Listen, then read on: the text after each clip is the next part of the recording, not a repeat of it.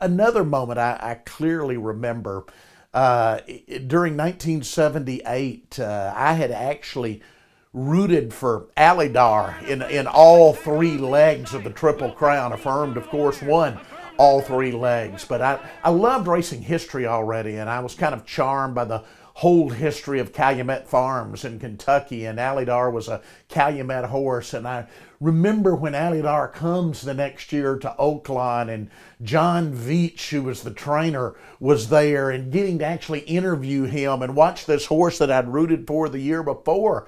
I mean, that's the kind of days when it dawns on you that this is the one sport in which Arkansas is in the big leagues. We don't have an NFL team. We don't have a Major League Baseball team. We don't have an NBA team, an NHL team.